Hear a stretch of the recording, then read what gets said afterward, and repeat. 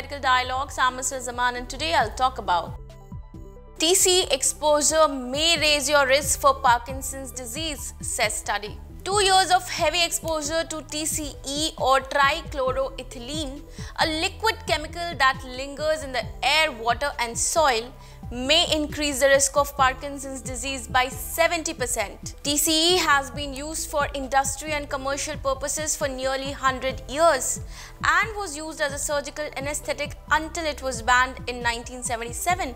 More recently, it was used as a degreasing solvent.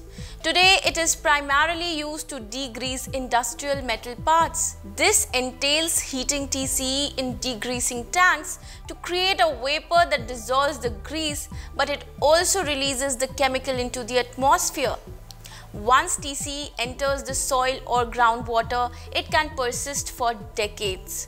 In the study, researchers led by UC San Francisco and the San Francisco VA Medical Center compared Parkinson's diagnosis in approximately 1,60,000 Navy and Marine veterans. Just over half came from Camp Lejeune in North Carolina, where TCE was used to degrease military equipment and water was contaminated.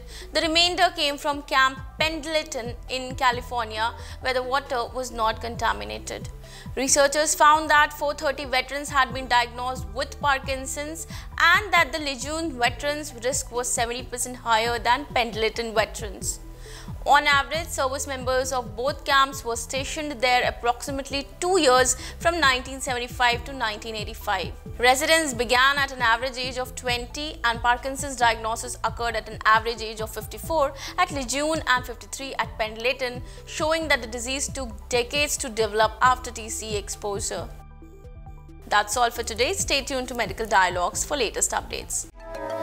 Never miss a medical update from Medical Dialogues. Like, subscribe, and press the bell icon.